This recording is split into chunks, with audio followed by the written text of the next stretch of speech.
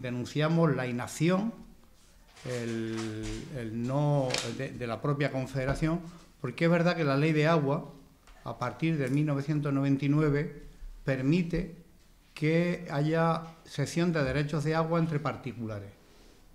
Pero también dice la ley que en una situación de eh, extrema necesidad, de extrema urgencia, por una situación de sequía como la que estamos viviendo, la Confederación, a través del Ministerio de Transición Ecológica, eh, puede elevar una propuesta para que el Consejo de Ministros eh, constituya un centro de intercambio de esa agua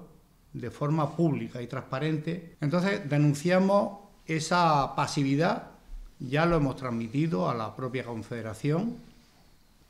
al propio presidente de la Confederación, también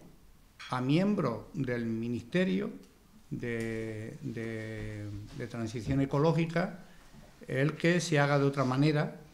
y nosotros lo que estamos viendo y denunciamos es que se abre un, eh, un melón y es que el agua que en España es pública